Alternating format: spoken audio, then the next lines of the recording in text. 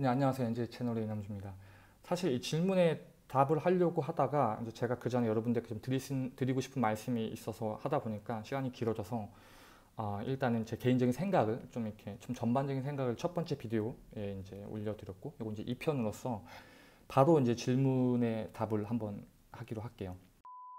어, 일단 질문을 보면은 그 대학교에서 이제 건축학교 5년제죠. 지금 그 졸업 전시를 앞두고 있는 학생이고 이제 재수하고 뭐 군복무 마치고 하면 이제 20대 후반 된다는데 사실 그런 것 같아요. 건축이 5년제 하고 군대 갔다 오고 하면 남자 같은 경우는 사회 그 엔트리가 사실 20대 후반이 어떻게 보면 맞는 것 같아요. 그래서 너무 스트레스 받지 마시고 저도 이렇게 미국에 와서 느낀 것 중에 하나는 막 20대 후반인데 PhD 끝내고 막 포닥하는 애들 있거든요. 외국 애들. 아, 이런 애들 보면은 진짜 이렇게 더 내가 열심히 하는 거죠. 아, 정말 더 열심히 해야겠다. 근데 이건 사람마다 다르고 결국에는 네가 지금은 이제 어리시니까 20대니까 이제 나이 하나하나 셀 때잖아요. 20, 21살이야, 22살이야 이렇게. 근데 사실 뒤로 갈수록 나이는 별로 안 중요하고 정말 네가 한 게 뭐냐, 네가 할 게 뭐냐, 네가 하고 해, 하고 싶은 게 뭐냐 뭐 이런 부분들이 좀 더 중요하다고 이제 생각이 되어져요. 그래서 뭐 그거와 상관없이 자기 커리어 쭉 커리어 path를 쭉 이렇게 만들어 나가면 되지 않을까 생각을 하고 뭐 다들 20대 후반에 이제 다 엔트리 하는 것 같아요. 예. 그렇다고 빠른다고 해서 저도 그래 사실 제가 한창 준비했을 때 이렇게 탁탁탁 유학 오고 탁 취직했으면은 지금보다 잘 됐을까? 저는 그렇게 생각하지 않아요. 오히려 안 됐기 때문에 제가 진짜 열심히 노력했거든요. 정말 열심히 노력했는데 그것들이 그 시간들이 저에게 돌이켜 보면은 정말 힘들고 진짜 어떻게 보면은 훈련소 생활이 더 편했다고 할 정도로 저는 해병대 나왔거든요. 해병대 훈련소 생활이 더 편하다고 생각할 정도로 진짜 좀 이렇게 괴로운 생활이었는데 그 지나 보면은 예, 오히려 더 이제 에너지로 삼아라 그런 것도 에너지로 삼아가지고 내 안에서 폭발시켜가지고 내가 지칠 때 그 원동력을 하는 거죠. 그래서 이제 설계를 쭉 공부하시면서 아, 이제 뭐 아두이노라든지 physical computing이라고 많이 이야기하죠. 그리고 디지털 테크놀로지 쪽 설계뿐만 아니라 이제 더 어떤 다양한 부분들에 대해서 이제 눈을 뜨기 시작하신 것 같은데 어떻게 보면 순탄한 것 같아요. 여러분들이 내가 다니고 있는 그 프로그램, 뭐 건축이면 건축, 뭐 디자인이면 디자인 거기에서 이제 뭐가 새로운 게 보이기 시작한다는 건 무슨 의미냐면 내가 그 부분에 어느 정도 적응이 됐다는 거예요. 적응이 됐고 여유도 있고 그 부분을 그 부분의 파운데이션이 생겼기 때문에 그 다음 스텝으로 갈 수 있는 여유도 생긴 거예요. 어떻게 보면 자라난 거거든요. 되게 많이 내가. 그렇기 때문에 굉장히 긍정적인 거라고 생각하고 그리고 그 어떤 목표를 갖고 있는 것도 되게 좋은 것 같아요. 뭐 목표가 없는 분들도 되게 많이 있는데 또 목 표를 어느 정도 저는 항상 그랬어요. 내가 너 꿈이 뭐야라고 얘기했을 때, 너 앞으로 뭐하라고 했을 때 저는 기본적으로 한 3시간 이상은 설명할 수 된다고 생각하거든요. 자기 꿈과 계획과 이거를 서포트할 수 있는 나의 과거와 이런 것들. 가끔 물어봐요. 야, 내가 시간 진짜 많이 줄 테니까 너 뭐 하고 싶어? 꿈이 뭐야라고 물어보면은 절반 정도 후배들 보면 약간 이렇게, 이렇게 머심쩍게 이렇게 웃고 넘어가거나 아니면은 이렇게 뭐 얘기하는 친구들도 많이 있는데 그 자기 어떻게 보면 공부라는 건 자기 자신을 아는 것 같아요. 그러니까 내가 뭘 잘하고 내가 뭘 못하고 어디에 집중을 해야 되고 어떤 모양과 어떤 형식으로 같은 걸 잘하더라도 다 다를 수 있거든요. 그래서 그렇게 이제 계획을 잡고 여기도 나왔듯이 그 뭐 민폐 이런 거 없습니다. 어차피 우리가 같이 만들어 나가는 거고 서로 질문 던지고 질문 받고 저도 모르면 형들한테 전화하고 막 물어보고 이러거든요. 비디오를 안 담아서 그렇지 똑같아요. 그렇게 보시면 될 것 같고 뭐 이건 되게 좀 중요한 포인트인 것 같아요. 그러니까 막연히 이제 유학을 하겠다라고 생각을 하고 이제 토플 GRE를 공부하면서 정작 내가 뭘 하고 싶은지에 대한 의문이 든다고 말씀해 주셨는데 이건 정말 중요한 질문인 것 같아요. 이게 여러분들 이거는 저도 사실 제가 계속 던지는 질문이거든요. 그러니까 우리는 정확히 우리를 잘 몰라. 내가 남들이 봤을 때 와 너는 이거 이거 이렇게 스페셜리스트가 있으니까 이걸 잘하네 라고 이야기하지만 그것도 다 달라요 보는 사람마다 한국에서 저를 보는 사람 회사에서 저를 보는 사람 여기 지금 제가 있는 LA 쪽에서도 computation 쪽 그룹 친구들이 있거든요 이 친구들이랑 같이 일할 때 저를 보는 게 다 달라요 그리고 이것들은 나이가 들면서도 환경이 시장이 환경과 시장이 계속 바뀌기 때문에 계속 고민해야 되는 질문인 것 같아요. 그래서 졸업을 와서도 취직을 한 다음에도 회사에서도 계속 내가 뭘 잘하는지 끊임없이 계속 물어야 되는 질문이기 때문에 이런 습관과 자세는 되게 중요한 것 같아요. 그래서 여러분들이 아, 일단 이 친구 같은 경우도 어, 물론 이렇게 준비 물론 유학을 가는 걸 준비를 하거나 뭐 해외 취직을 준비를 하거나 아니면 국내 취직을 하더라도 어쨌든 뭐 영어를 잘하거나 그 기, 경험과 기술이 많으면 그만큼 더 좋은 대우를 받을 수 있겠죠. 어쨌든 그 유학을 간다는 거는 저가 생각해서 유학을 간다는 거는 일단은 드라마에서 헤어진 다음에 나 유학 가 하면서 비행기 타고 가는 건 절대 아니고 토플, GRE, recommendation 다 받아야 되는 거고 음, 받은 다음에서도 간 다음에는 다시 그냥 학생인 거예요. 다시 학생. 학생은 뭐예요? 그냥 배우는 거예요, 무조건. 배워서 그 다음에 나오면 다시 그냥 초년생인 거예요. 내가 경력이 있어 하면 그 부분이 어느 정도 이렇게 아 이렇게 이렇게 그 웨이시 약간씩 달라지긴 하겠지만 근본적으로는 내가 뭘 할지 알고 계속 끊임없이 찾아야 된다는 거예요. 간다고 끝나지 않는다는 거예요. 가잖아요. 오히려 더 심각해지는 케이스 더 많이 봤어요. 왜 심각해지냐면은 일단 오긴 왔어. 돈은 돈대로 썼어. 나이는 나이대로 먹어가는데 내가 정작 뭘 하는지 모르고 밖에서 봤을 땐 좋아 보이죠. 근데 안에서 정작 내 자신을 봤을 때 한계도 있죠. 저도 마찬가지예요. 언어의 한계부터 시작을 해가지고 문화적 한계 막 계속 부딪히거든요. 이거 다 어떻게 커버할 건데. 그거에 대한 부분들에 대해서는 우리는 열심히 해가지고 자기의 어떤 그 능력치를 키우는 것밖에 없어요. 그렇잖아요. 정해져 있어요. 실력이에요, 그냥. 실력을 키우는 수밖에 없는데 이게 아무것도 준비 안 되고 학교 학교 프로그램이 날 도와주겠지라고 착각을 하면 안 돼요. 제가 가끔가다 동기 모임 나가거든요. 서울에, 한국에. 그러면 친구들이 가끔가다 얘기하는 이런 얘기예요. 야 대학을 졸업하고 나서 대학이 아무것도 안 가르쳐 준다는 곳인 거를 알았다. 이거 농담으로 가끔가다 하는 얘기인데 아마 들어보신 분들 많이 있을 거예요. 대학 졸업한 다음에 느끼는 거예요. 어? 나 뭐 배웠지? 이렇게 되는 거거든요.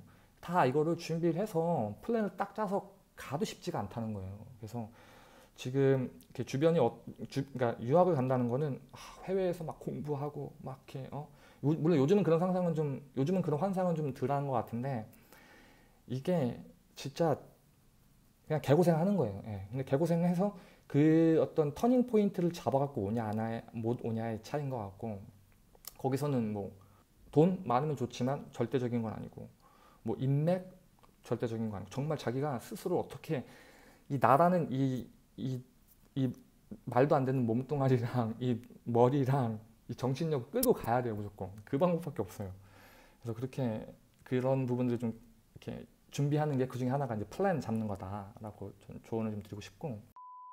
이제 첫 번째 질문으로는 건축 외에 다른 분야로도 가고 싶은데 건축대학원 진학하는 것이 맞는지 궁금하다라고 이제 말씀해 주시면서 특별히 제가 그 과거에 올린 비디오를 언급을 하면서 건축 대학원 내 건축과 관련된 것만 있는 것이 아니다라고 하신 분에 조금 더 고민이 깊어진다고 말씀을 해주셨는데 이 부분은 좀 한번 그럼 이야기를 해보죠 자세히. 일단은 여러분이 그 제가 미국에서 공부한 대학교 같은 경우도 Graduate School of Design이에요. 그 말인즉슨 그냥 디자인 대학원이에요. 엄밀하게 이름만 놓고 보면. 근데 사람들이 그냥 건축대학원, 건축대학원 그래서 그냥 건축대학원이라고 생각을 하고 그리고 그 메인 프로그램들이 딱 건축에 관련된 게 있어서 그냥 그렇지 엄밀하게 학교 이름만 딱 놓고 보면 Graduate School of Design이에요. 결국에는 디자인 대학원이에요. 예. 거기서 내가 만약에 그 건축에 관련된 프로그램을 밟았다? 그러면 당연히 건축 쪽으로 가는 거죠. 가령 뭐 M.Arch라든지 뭐 MLA라든지 MAUD라든지 이런 전문 프로그램을 밟았다고 하면은 거기에 맞춰서 하는 게 맞겠죠. 생각해 보세요. 제가 내가 예를 들면 의대를 나왔어. 근데 딴 일 해 그 말이 뭐, 뭘 내포하는 거냐면 내가 의사로서 자질이 없어서 난 포기한 거예요. 그러니까 그 바닥에서 나는 내가 제일 에너지를 쏟은 그 바닥에서 난 어떻게 보면 실패한 거야. 그렇게 볼 수도 있겠죠. 그게 안 되니까 적성이 안 맞던 뭐에 안 맞던 어쨌든 나는 그 부분이 안 돼서 나는 딴 거 알아보고 있는 거예요. 저도 여기 LA에서 저도 새로 여기 지금 뭐 LA 온 지 얼마 안 됐지만 여기 와서 사람들을 만날 때 이렇게 소개를 받을 때 저는 그 어떤 사람이 어떤 부분에 대해서 막 이야기를 할 때 이 분야가 자기 분야인지 아닌 문제, 아닌지를 보거든요. 자기 분야에서 어떤 그 승부를 안 보고 자꾸 다른 분야에서 뭔가 승부를 보는 사람들은 저는 그렇게 좋게 이렇게 신뢰를 하진 않아요. 왜냐면 자기가 제일 좋아하는 성공적인 분야에서도 그 시, 성공을 못했는데 눈 돌리면 그 될까요? 이게 안 되니까 자꾸 딴 쪽에 한눈을 파는 건데 물론 제 주관적인 주장이에요. 그렇기 때문에 다시 우리 얘기로 돌아오면 여러분들 내가 대학교를 어느 프로그램에 가냐에 따라서 많이 자주자 될 수가 있어요. 건축대학원을 갔잖아요. 그러면은 건축에 대한 일을 해야 되잖아요.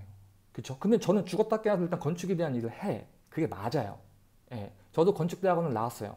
저도 에마크가 있고 그래서 지금 저는 우리 회사에서 일을 해요. 건축학과를 나왔기 때문에 물론 제가 지금 소프트웨어 엔지니어로 일을 하고 있지만 중요한 건 뭐냐면은 디자이너들 그다음에 도시라든지 설계들 그러니까 도시라든지 어떤 그 건축물을 설계할 때 데이터를 다루고 이 데이터를 바탕으로 뭔가를 만들어내고 하는 그런 tool을 개발하고 있거든요. 동일하잖아요. 자, 제 친구 중에서 구글 갈 친구도 있어요. 예, 건축을 해서 그 친구는 구글에서 뭐 하냐면은 그 portable한 그런 그 유닛 같은 집 같은 게 있거든요. 제가 제가 옛날에 그 샌프란시스코 시티 한번 놀러 갔었는데 이따만한 큰 구글 캠퍼스 안에 공장에서 이렇게 이제 그 스마트 그 하우스 같은 걸 만드는 건데 그 친구도 건축을 했기 때문에 구글 갈 수 있었던 거예요. 제 친구 중에서 이제 저랑 제가 미국에 있는 대학교 나올 때 제가 이제 보스턴에 있는 대학 나올 때 거기에서 같이 같은 프로그램 친구가 있어요. 그 친구 같은 경우는 그 친구도 건축을 했어요. 건축을 하고 그 다음에 specialist 된 그 computational design은 같이 했어요. 저랑 MDS. MDS 프로그램을 졸업하고 걔는 나이키를 갔어요. 나이키 가서 뭐 하냐면은 그 어쨌든 건물이라는 게 이렇게 tension compression이 이렇게 있잖아요. 건물의 구조적으로. 그러면 그런 부분들을 이렇게 human scale로 끌어당겨 가지고 거기서 이제 신발을 디자인을 해요. 그러면 사람이 어쨌든 간에 건축이라는 건 어떤 환경을 디자인하는 거잖아요. 결국 human behavior를 디자인한다고 좀 좁혀 봤을 때 좀 더 scale down 해 가지고 사람의 어떤 환, 환경 운동하는 그 레벨에서 어떻게 보면은 이제 그 신발을 디자인하는 거거든요. 그러면 이 사람이 결국 환경과 계속 interaction하고 어떤 공간에 대해서 어떻게 몸들이 움직이고 반응을 할 때 그 친구는 건축에 대한 난리지를 엄청나게 갖다 쓰겠죠. 이해가 되시나요? 제가 어떤 식으로 지금 프레임을 잡고 있는지. 그래서 일단은 자기가 전공을 했으면 그 전공을 점점 이렇게 이렇게 이렇게, 이렇게 꼭지로 몰아가지고 완전 specialist가 돼 가는 거라는 거죠. 제 후배들 중에서도 뉴욕에 있는 친구 중에 한명 있는데 그 친구 같은 경우에는 그러는 거 저한테 한 번을 만났는데 아 형 제가 진짜 한 20층에서 한 50층, 100층짜리 빌딩, high-rise building 우리 회사에서 제가 다 하거든요. 근데 어떻게 이거를 개인적으로 오더를 받을 수가 없어요. 왜냐면 100층짜리 빌딩들은 다 사무실, 큰 사무실에 주잖아요. 개인에게 안 주잖아요. 그 사무실 줘도 그 사람이 다 하는 거예요. 예. 어떻게 보면 이 사람은 어떻게 보면 그 친구 같은 경우에는 건축을 전공했다가 이렇게 했다가 이제 쭉쭉 하면서 이제 실무적인 프로세스 이제 high-rise building으로 확 가는 이제 케이스가 되는 거죠. 지금 친구가 5년 전에 나왔다고 친다면은 뭐 에마크 2라든지 아니면 뭐 AP, 뭐 advanced replacement라고 advance placement인가? 어, advanced place 아, 모르겠어. 하여튼 AP라고 그런 게 있고 거기서 이제 건축 쪽으로 가실 건지 아니면 뭐 landscape를 할 수도 있어요. 제 아는 형 중에서도 건축형 landscape 두 개 합쳐가지고 되게 잘하시는 형이 있거든요. 그 형님도 계시고 그 다음에 뭐 도시 쪽으로 나갈 수도 있, 있겠고요. 그리고 좀 더 이렇게 specialize 돼 있다고 친다면은 이제 다시 약간 우리 얘기로 좀 더 다시 약간 돌아오면 예를 드는 거예요. 그 GSD 같은 경우는 디자인 대학원 안에 여러분도 아시다시피 여러 프로그램들이 있어요. 저처럼 뭐 테크놀로지를 다루는 프로그램도 있고 뭐 시어리를 다루는 프로그램도 있고 아니면 뭐 부동산 쪽도 있고 그 다음에 무슨 뭐 history도 있고 되게 다양하거든요. 그렇기 때문에 내가 그 예를 들면 뭐 에너지 쪽을 공부하고 싶다거나 아니면은 MIT의 Building and Technology가 정확히 이름은 기억이 안 나는데 거기에 완전 구조적인 걸로도 가는 거죠. 그러니까 이게 그거 아니더라도 industry에서 되게 많이 요구되는 부분들이 있기 때문에 내가 전략을 짜야 돼요. 나를 어떻게 포장해 가지고 이 시장에서 어떻게 올려놔야지 좀 내가 잘 팔릴 수 있을까. 이것들을 고민하면서 내 과거를 좀 끊임없이 보고 여기서 이거 하나 얹혀지면 아, 대박일 것 같은데. 그럼 그걸 투자를 하세요. 예. 그런 의미로 보면 될 것 같아요. 그래서 건축 그러니까 한국에서 특별히 저도 마찬가지였지만 특히 학생들 같은 경우는 이게 중학교 고등학교 때도 일단 딱 해서 무조건 좋은 대학 가야 돼. 점수 맞춰갖고 대학 들어갔어.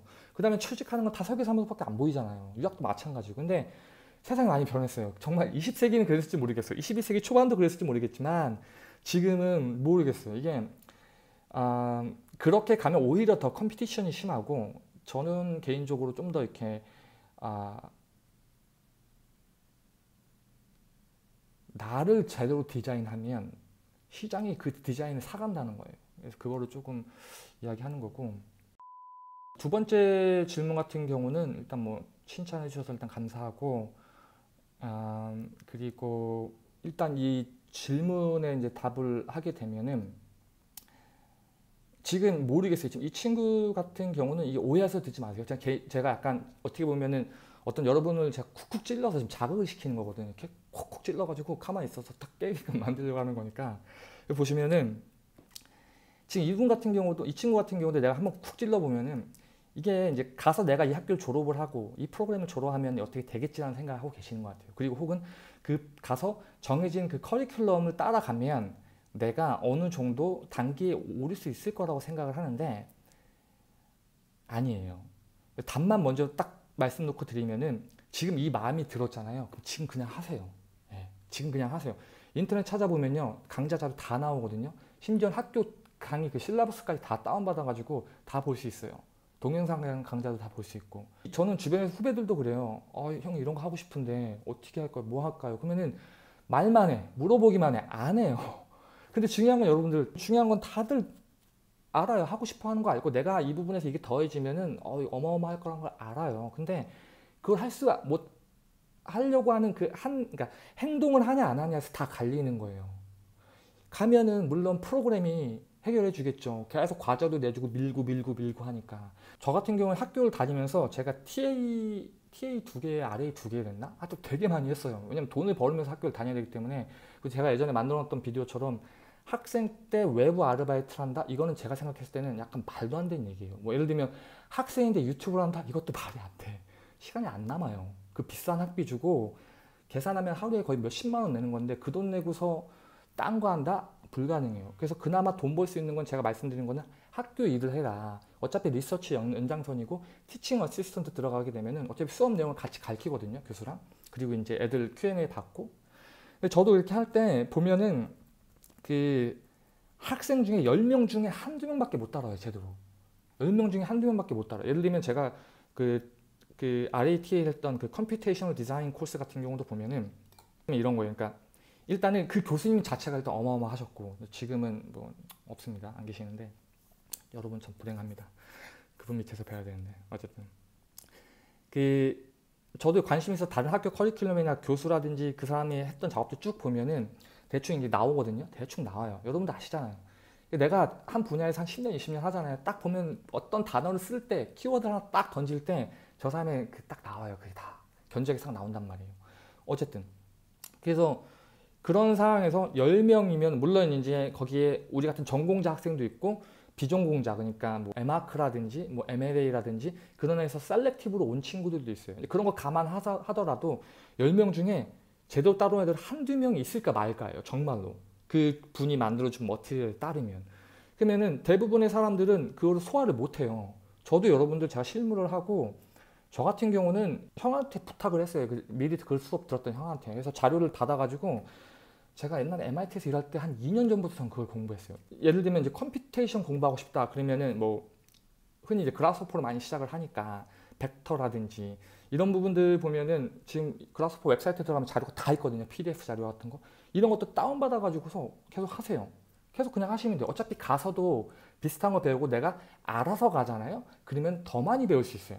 정말로. 그리고 제가 이건 좀 다른 얘기인데 저 같은 경우는 저희는 일주일에 한 번씩 요즘도 있는지 모르겠지만 일주일에 한 번씩 전 학교 그러니까 학교 학생당 900명 정도 되는데 900에서 1,300명 된다 하더라고요. 대충 한 그 학생들이 하루에 우리가 강의실 하나 열으면 이제 애들이 와요. 올라와 이렇게.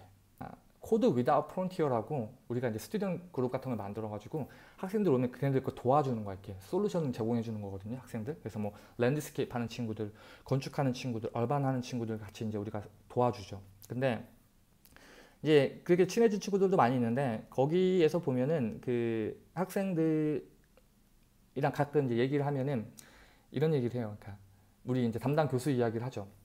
하면은 어 잘하는 것 같아 이렇게 이야기를 해요. 그리고 좀 담당 교수랑 좀 약간 비슷한 걸 가르치는 사람이 있는데 이 사람이 좀 더 실력이 좋은 것 같아 라고 이야기를 하는 거예요. 그래서 저는 그런 것들 딱 보고 나서 느낀 게 뭐냐면은 이게 예를 들면은 선생님이 계시면은 이 선생님한테 내가 내 난이도가 여기야. 그럼 여기밖에 못 배워요. 근데 내 난이도가 여기야. 그러면은 물론 이걸 못 가르쳐 주시는 선생님들도 있는데 제가 배웠던 그 선생님 같은 경우는 그 그 교수님 같은 경우는 진짜 저기 안드로메다에 계신 분이어가지고 내가 요구하는 족족 다 가르쳐줬어요. 그렇기 때문에 근데 일반 사람들이 봤을 때는 이 레벨에서밖에 그 사람이 얘기를 안 해주니까 그냥 음 이렇게만 이야기를 하는 거예요. 예. 그러면 같은 학비 내고 같은 돈 내고 얼마나 다른 인포메이션을 가져와요. 이해되시나요? 그렇기 때문에 공부를 관심 있으면 계속 해라. 저 같은 경우는 제가 살짝 말씀드리면은 저는 그 사실 25살 때 제가 24살 때죠. 24살 때 군대 제대하고 스타트업을 하나 시작을 했거든요. 3D 그래픽스 쪽인데 뭐 그때 당시에는 3차원 그래픽을 잘 쓰는 사람이 많이 없었어요. 그래서 어 이거다 해가지고 쭉또 팠죠.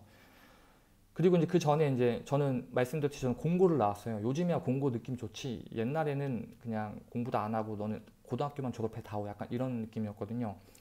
저는 중학교 3학년 때 저희 아는 형이 친형이 저희 친척 형이 공고를 가서 그 형 옆에서 AutoCAD R11인가 그거 하면서 어 이거 새로 나온 게임인가 하면서 따라하기 시작하다가 그러니까 공업고등학교를 들어가가지고 거기서부터 이제 저는 AutoCAD 배우고 3D 쪽 배우고 뭐 제도 도면 치는 거 이런 거 다 배워가지고 이제 대학 가서 또 새로운 걸 계속 거기 위에다가 엎고 엎고 엎어서 계속 자라나간 케이스거든요.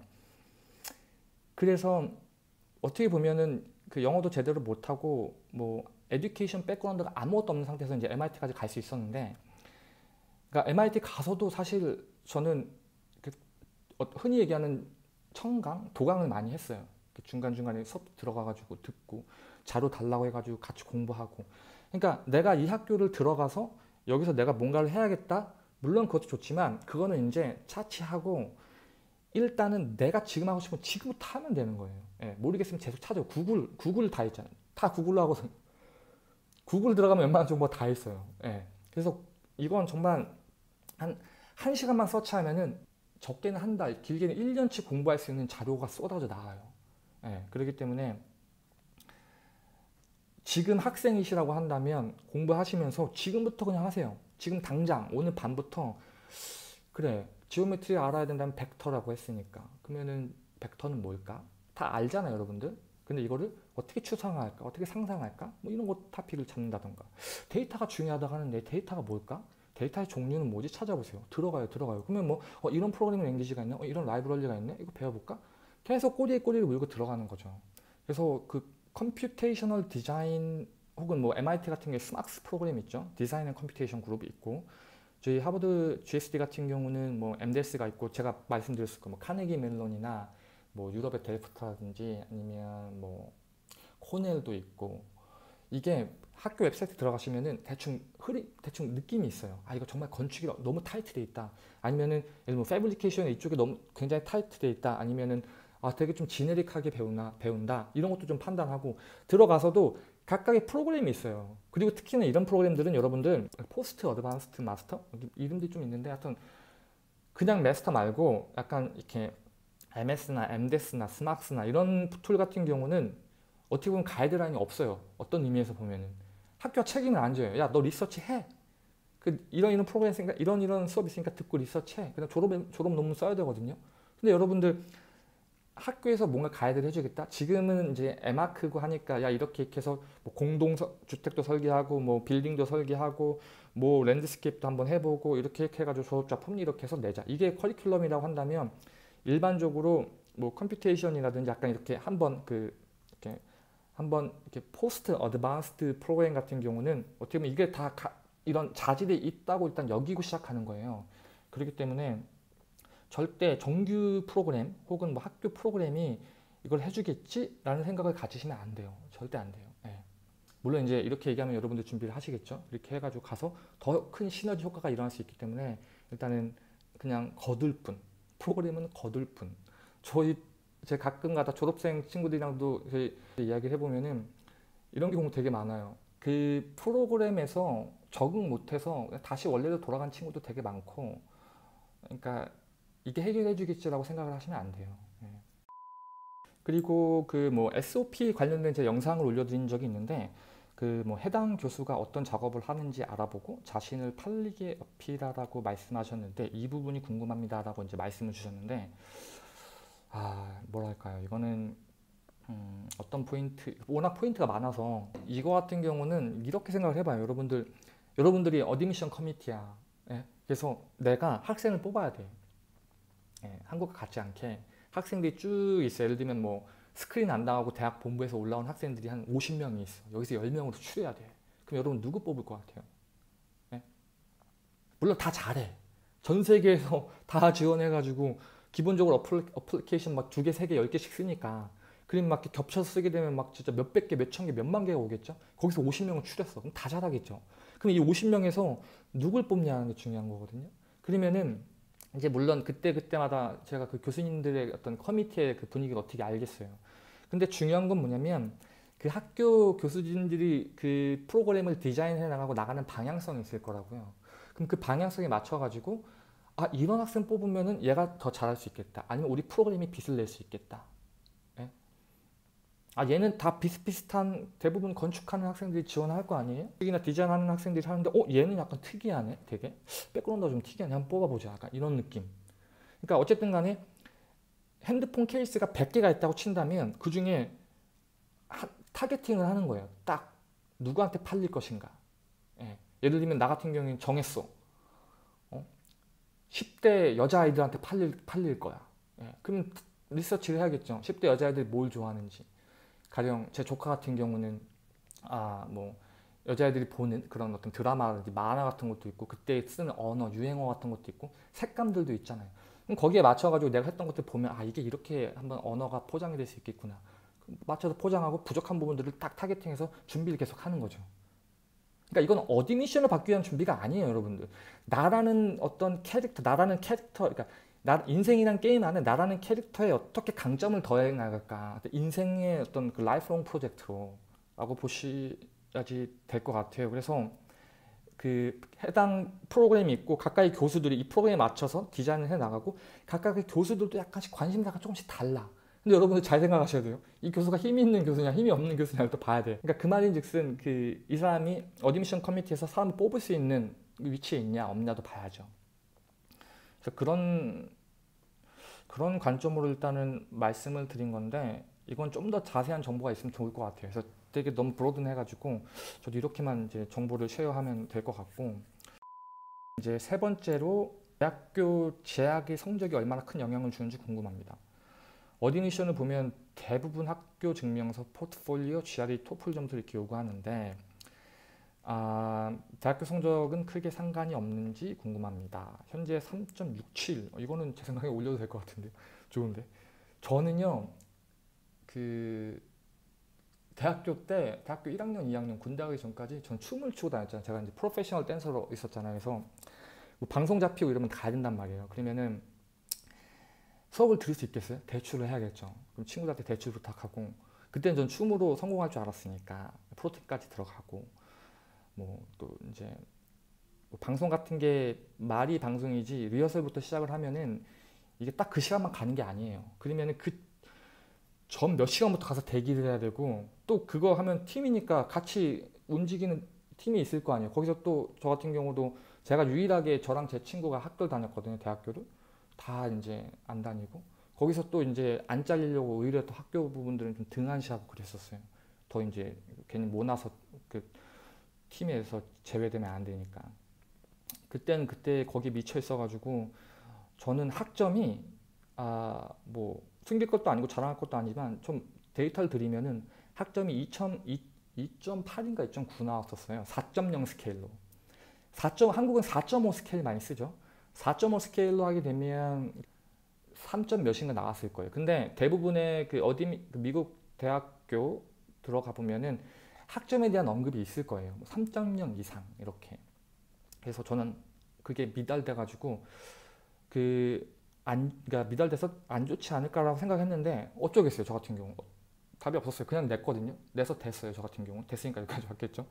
어쨌든 제가 하고 싶은 얘기 뭐냐면 그 학교에서 명시되어 있는 점수들이 있어요. 예를 들면 토플, 예를 들면 뭐 100점, 100점 무조건 넘어야 돼요. 안 되면 스크린 당해요. 대학 본부에서 스크린 당하기 때문에 그 교수들이 예를 들면 내가 교수랑 막 친해졌어. 제가 지원할게요 했는데 교수들이 admission을 내 걸 못 봐. 왜? 대학 본부에서 스크린 당했거든. 왜? 여기 명확하게 명시를 해놨는데 그걸 못 넘었네? 이렇게 되는 거예요. 이게 되게 strict한 학교가 있어요. MIT 같은 거 되게 strict하다고 제가 들었어요. 그리고 이거보다도 좀 더 이렇게 종합적으로 이렇게 판단하는 학교들도 있고 되게 그 그거는 제가 잘 모르겠어요. 이거 얘기하기도 쉽지 않고 뭐 이게 맞아요라고 얘기하면 또 저도 틀리면 어떻게 해요? 거짓말일 수도 있으니까. 거짓말하게 되는 거잖아요. 그래서 이 부분을 정리를 하게 되면은 일단 명시된 부분들은 다 넘는 게 좋다. 보면 대부분의 GRE 같은 경우에 명시되어 있지 않아요. 그냥 평균이 이 정도다 이렇게 얘기돼 있고 토플은 명확하게 명시되어 있어요. 미니멈 이거야. 이거 무조건 이거 맞춰야 돼. 약간 이런 느낌. 그리고 그 학점도 평균이 이 정도라고 아마 나와 있을 거예요. 요즘 어떤지 모르겠는데 만약에 미니멈 이거야 라고 얘기했을 때 이걸로 갖고 대학 본부에서 자른 학교도 있고 일단 올리는 학교들도 있어요. 어쨌든 컴퓨티까지. 그렇기 때문에 여러분들 시스템을 어느 정도 이해를 하면은 대충 뭐 감을 잡으, 잡으실 거예요. 그래서 학점은 높으면 좋죠.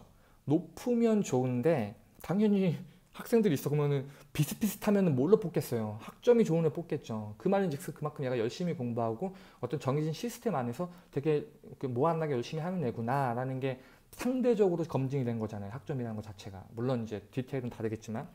그래서 뭐 굳이 재수강을 해야 될까? 모르겠어요. 여러분들 한국에서는 뭐 학점이 몇 점이 안 돼서 학, 점 예를 들면 뭐 몇 특정 점수였는데 그걸 못 넘어서 졸업하기 전에 재수강 해가지고 해가지고 뭐 대기업 취직한 케이스가 있다. 이런 케이스나든지 이런 부분들이 신경이 쓰인다고 한다면 제 생각에는 재수강을 하는 게 맞는 것 같아요. 왜냐면 졸업하고 나면 그 메이크업 할 수 있는 시간이 없으니까. 그래서 그 부분이 만약에 계속 마음에 걸릴 것 같다 하면은 재수강을 하는 게 맞는 거죠. 근데 저의 개인적인 과, 저의 개인적인 생각이 아니라 저의 어떤 과거를 그냥 말씀드리면은 전 학점이 2점 몇이었어요. 2.9인가 2.8인가 그랬고 그 대신에 대학원 학점이 굉장히 좋았거든요. 물론 대학원 학점은 뭐 다들 잘 받는데 저 같은 경우에는 이제 GSD 있을 때 distinction 같은 것도 되게 많이 받았었어요. 그래서 어쨌든 학점이란 게 그렇잖아요. 점점 점점 점 올라가는 모습들. 가령 내가 대학교 1학년, 2학년 때는 뭐 C, B, 뭐 C, B, C, B 이랬어. 근데 3학년, 4학년, 5학년 되니까 막 다 A, A, A. 이 사람이 더 어떻게 보면은 스토리가 있는 거예요. 그렇잖아요. 저도 아, 이 얘기를 꼭 해야 되는구나. 저도 제가 SOP를 쓸 때 이 얘기를 했어요. 내가 학점이 왜 안 좋은지에 대한 이해를. 내가 학점이 안 좋았던 이유는 나는 어렸을 때부터 학교 다닐 때부터 나는 이제 뭐 춤을 췄었고 춤 추면서 어떤 것들을 많이 배웠고 그런 걸로 해가지고 난 스타트업을 했고 만약에 내가 학점에만 포커스를 했으면 더 좋았을 수 있겠지만 뭐 스타트업을 하고 거기 안에서 막 이런 일도 해보고 이런 것도 경험해보면서 이런 interest가 커진 거고 네가 봤듯이 나, 나의 resume가 이러한데 이런 모든 starting point는 거기서 온 거고 거기서 motivation이 지금까지 온 거다. 내가 비록 학점은 안, 좋아, 안 좋았지만 나는 이런 이러한 어떤 열매들을 갖고 와서 전, 전혀 다른 지금 내가 전혀 다른 플랜을 지금 난 계획을 하고 있고 동시에 나는 학교 공부에 대한 어떤 열정들이 어떤 학부 때 못한 부분들이 있기 때문에 너네 대학원에서 그 열정을 폭발시킬 거다. 약간 이런 식으로 같은 상황이라도 이걸 어떻게 평가를 해가지고 어떻게 드라마를 만드냐 이, 이걸 보고 그 사람들이 딱 아 얘한테 이거 우리 admission 줘야겠다. 아 얘 주면 괜찮을 것 같다. 이런 생각이 나게끔 만든다는 거죠. 그래서 그런 스토리텔링을 좀 해보는 게 중요하고 이런 스토리텔링 하다 보면은 아 나를 어떻게 디자인을 해야겠다는 것도 보여요. 설계사무소 가서 10명의 그 설계사무실 하는 사람들이 다 똑같은 일을 하지만 사실 다 다른 백그라운드가 있고 다 다른 potential이 있어요. 다 다른 history가 있다고요. 그거를 잘 이용해가지고 나를 포장하는 데 써야 된다는 거예요. 이해되시나요?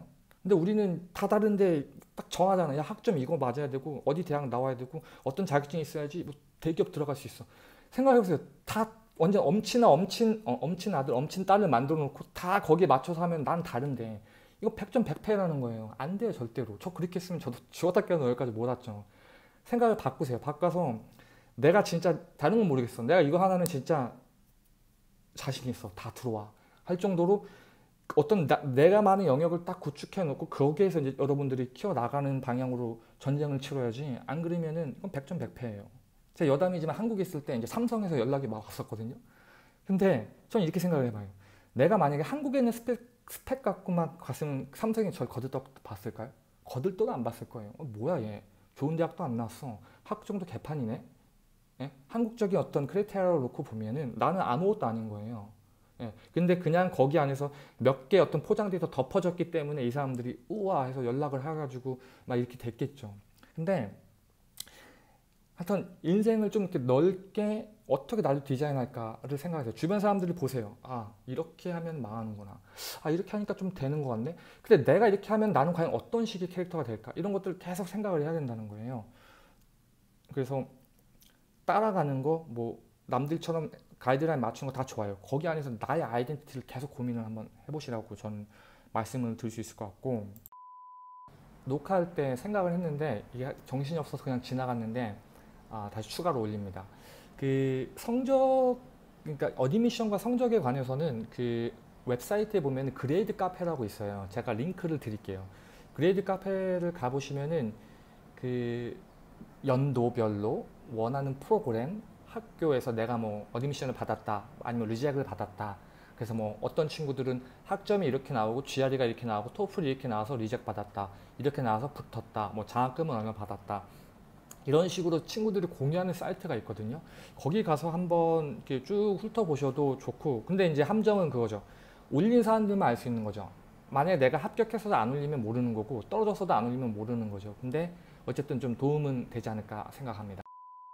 복학하고 이제 시간이 지나니까 아무래도 좀 감각이 그죠? 무구 그런 것 같아요. 인간들은 이렇게 열심히 하다 좀 나태해지다가 계속 왔다 갔다 하는 것 같아요. 뭐 로봇이 아니니까 그래서 이렇게 저 스스로도 마찬가지고 여러분들도 그렇고 어쨌든 우리 인간들은 서 있으면 앉고 싶고 앉고 싶고 눕고 싶고 그죠? 눕고 싶으면 자고 싶고 노력 안 해도 잘 되고 싶고 쟤는 잘 되는데 아, 나는 왜 이러지?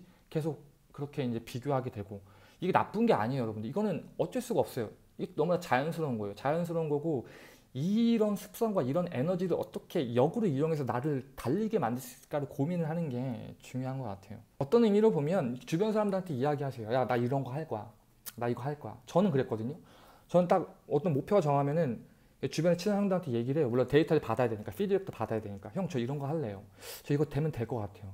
긍정적인 피드백도 부정적인 피드백도 있거든요. 일단 받아가지고 취합해서 생각을 한 다음에 될 것 같다 생각하면 그때부터 올인하고 no 빠꾸로 달리거든요. 쭉 달리는데 이때 그 이때는 진짜 속도전이야. 무조건 내가 1년, 2년, 3년이고 압축해 갖고서 공부를 해 가지고 달려 나가야 돼요. 제 아는 형이 얘기했던 건데 어떤 의미로 보면은 단거리 달린다는 마음으로 마라톤을 뛴다고 보시면 돼요. 그렇게 달리다 보면 또 돼요, 그게. 그럴 때 그 피드백 중에서 야, 그거 안 돼. 야, 그거 해봤는데 안 돼. 아니면 뭐 약간 조롱 섞인 것들. 야, 해봐. 어. 아니면은 뭐 거기서 야, 진짜 될 것 같은데 같이 한번 해보자. 여러 가지를 나누거든요. 그러면 이런 것들을 이렇게 잘, 잘 나눴다가 내가 힘들 때마다 이렇게 끌어다가 에너지로 쓰는 거야, 이렇게. 부정적 에너지는 부정적 에너지를 갖다 태우고 긍정적 에너지는 긍정적 에너지를 갖다가 끌어당겨 쓰는 거예요. 같이 뭐 공부를 하거나 스터디 그룹을 만든다던가. 예? 그렇게 해가지고 또 그렇게 이야기를 하다 보면은 아무래도 저는 그러거든요. 항상 내 생각과 나를 분리해요. 저는 그런 좀 생각을 많이 하니까 뭐냐면 그러니까 혼자 말도 많이 하는데 그러니까 나는 우리가 다 나라고 생각하잖아요. 그러니까 나는 내 생각하는 그러니까 나는 여기 있고 그 다음에 나를 어떻게 따로 대상화 시켜가지고 네가 오늘 해야 되는 부분들이 있으면 무조건 해야 돼요. 그건 내가 하는 게 아니라 얘가 해야 되는 거야. 그렇죠. 삶이 힘들다고요. 왜냐면 그렇게 계속 하다 보면 내로남불을 시전하게 되면은 그게 시간이 가랑비에 옷 젖듯이 그 된다고요. 다 저도 그러거든요. 저도 그런 모습들이 너무나 많이 보이고 그렇게 해서 안 된 케이스들이 너무 많았기 때문에 그 부분을 경계해서 저는 약간 그런 케이스를 많이 써요.